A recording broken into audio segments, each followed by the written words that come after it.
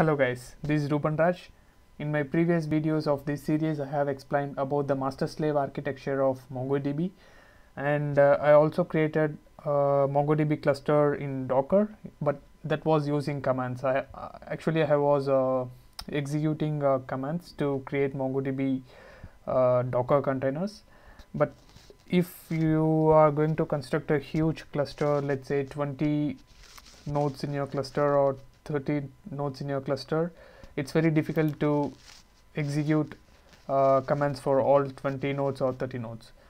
So we don't need to do that. Instead, we can write a single file called docker compose file and we can write our own configuration and we can just simply execute that one file. It will spin up the number of uh, docker containers which we want. I'll show you everything from the scratch how to create the docker compose file and how to write all uh, all the things are required so for that uh, I'll create a folder first. Make directory mongo mm, let's say mongo cluster cluster and uh, cd mongo cluster.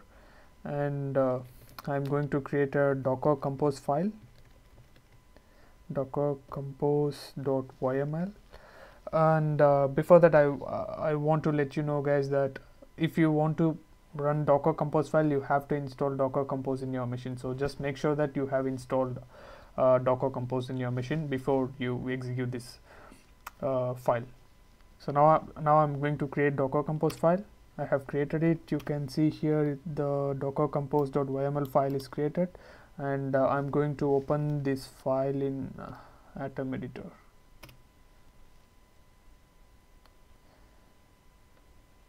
so you can see here we have created the mongo cluster folder and uh, there is an empty file. And uh, we are going to start with a version and this version represents the uh, version number of uh, the docker compose file.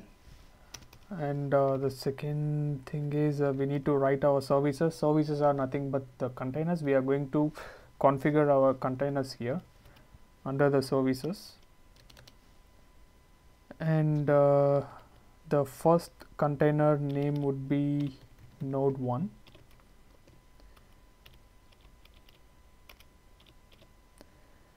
and we need to provide the image. Actually I'm going to use the very base very basic image and the base image of uh, Mongo which is provided by Docker Hub and this is an official image.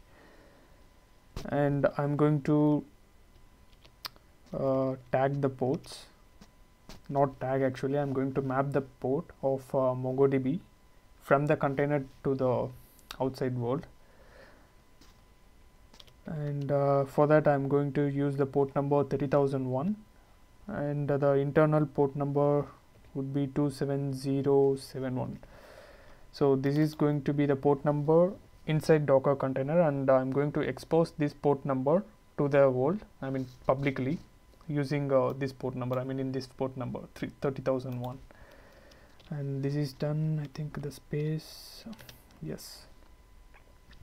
And I'm going to map uh, volume to store the database from the container to the host machine. And for that I'm going to have this home and uh, Mongo cluster data and uh, the node 1 and the internal uh, path for the database is slash data and slash db. Actually what we are doing is we are uh, mapping the database path from the container to our local machine. Even if there is no folder called mongo cluster data and the node 1 in your machine when you execute this uh, docker compose file it will create the uh, it will create the directory for you. And I'm going to create a network. And I'm going to name the network as Mongo cluster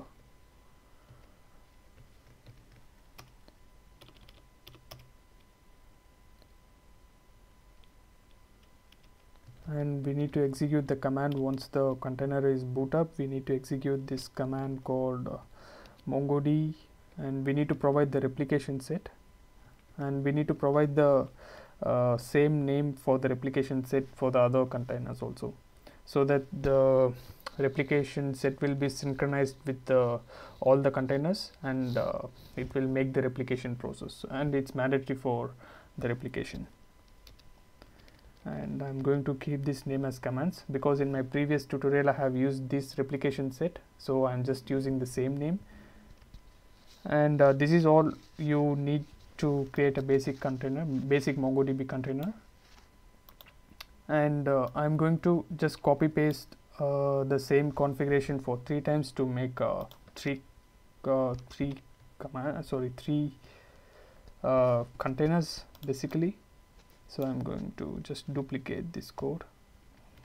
And I'm going to change the name of container to node 2 and the port number would be 30002 and here the node num node name will be node 3 and uh, the port number would be 30003 and here I need to change the directory name to node 2 and here node 3 and uh, the other things are same. And we need to add one more uh, parameter here. And the parameter name is called uh, depends on.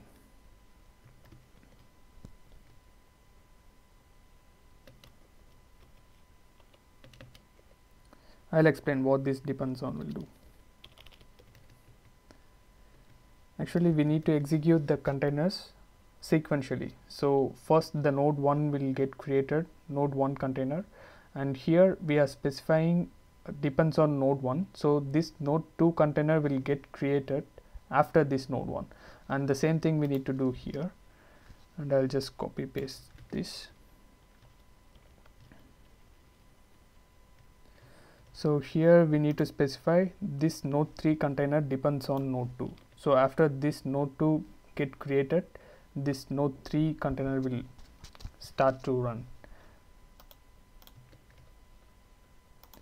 So we are done with our container configuration and uh, here we are specifying the network. So it means uh, we want all three all these uh, three containers should uh, should be connected with the same network called Mongo cluster and we need to define the configuration for that also and the configuration would be networks. And uh, and the name of the network is Mongo cluster. And the driver will be a bridge driver. So for what we have done is we have uh, written a docker compose file to boot up three containers. And uh, each container for each individual mongodb instance. And uh, we have connected all these uh, three containers with the same network. So we are going to run this uh, docker compose uh, file using the docker compose up command. And I'll show it in my terminal. So here we have this file docker compose.yml and uh, we need to use this command docker compose up so what it will do is it will execute this docker compose file. And uh, here it says it's created all three uh, containers docker containers uh, which is our running mongodb instance. And to check that we can uh, execute this command docker ps which shows uh, the list of uh, running docker containers.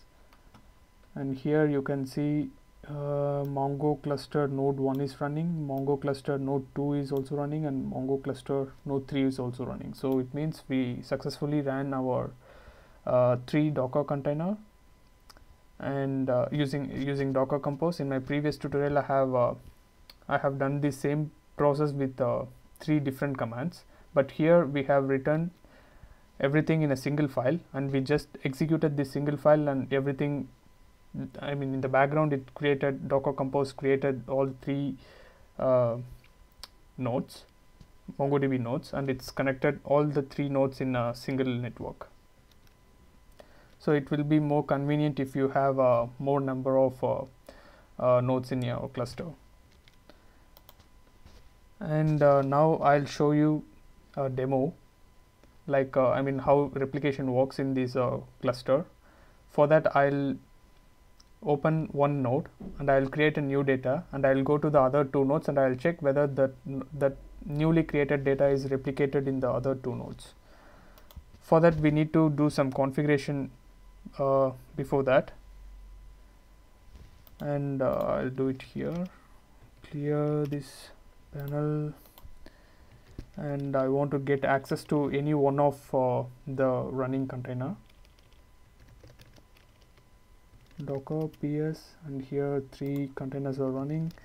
And uh, docker execute it actually what I'm trying to do is I'm get I'm trying to get access to any one of uh, the running container using the docker exec command. And you can also follow the same uh, procedure to get access to any one of the container. And uh, mongo cluster I'll get access to mongo cluster node 1 so you can get the name from here mongo cluster node 1 and oh, sorry I forgot to give the command name mongo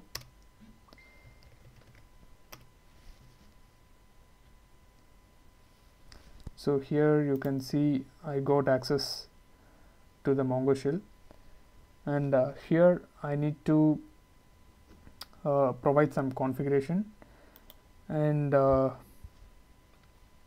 actually I have written the configuration in the text file because it's a kind of big configuration. I'll give this configuration uh, in this video tutorial. You can just copy paste the same thing. So I'm also going to just copy paste the configuration. So here sorry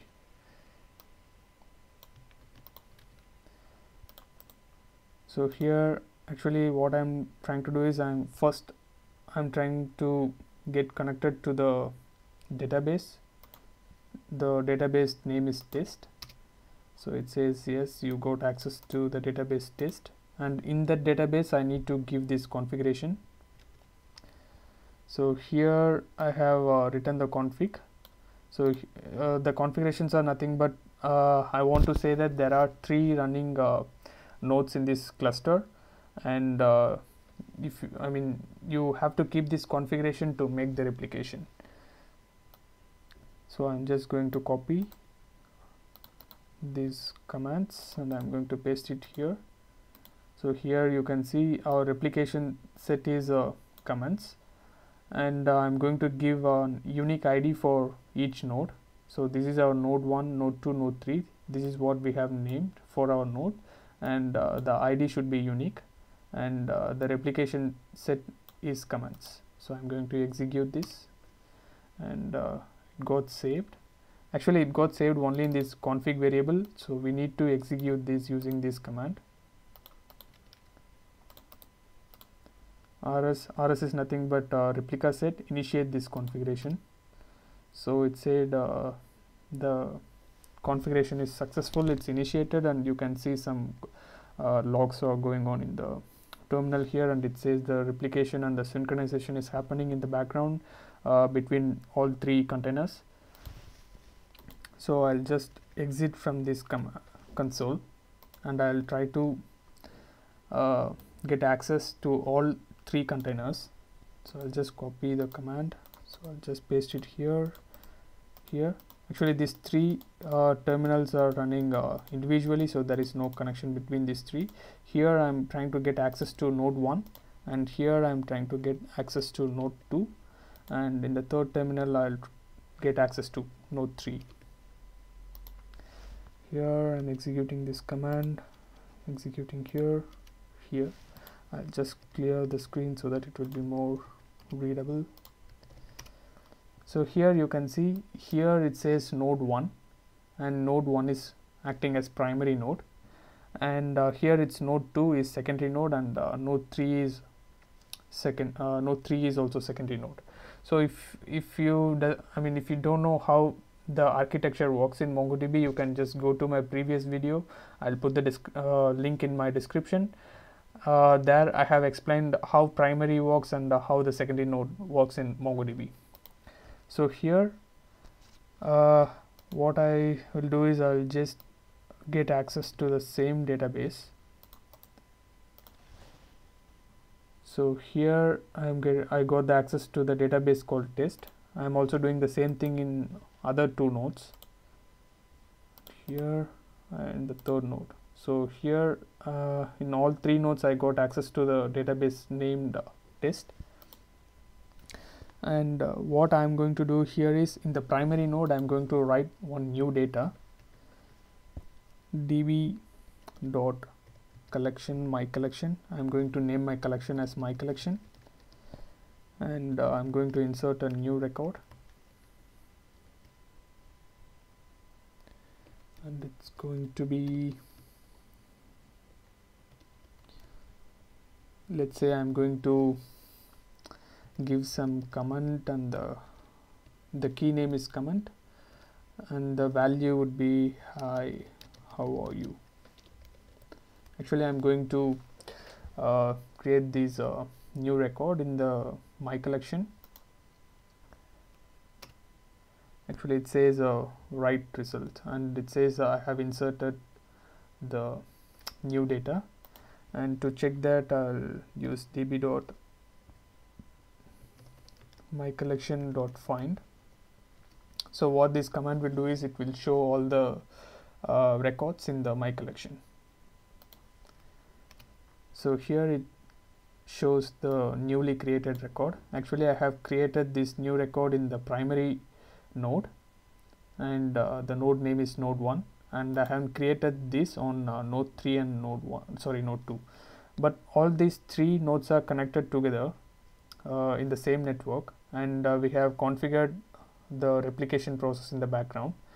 So once I have created this the same data will be replicated on the other two nodes and I will show it here.